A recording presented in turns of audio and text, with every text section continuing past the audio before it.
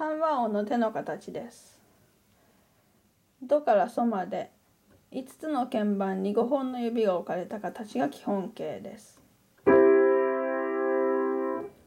第一展開形になると音程が6度になりますので1と2の指を開いてこのような形で弾きます。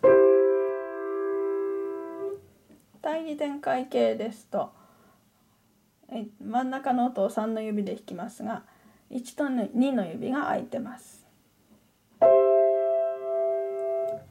基本形になると元の5度の指の位置に戻ります。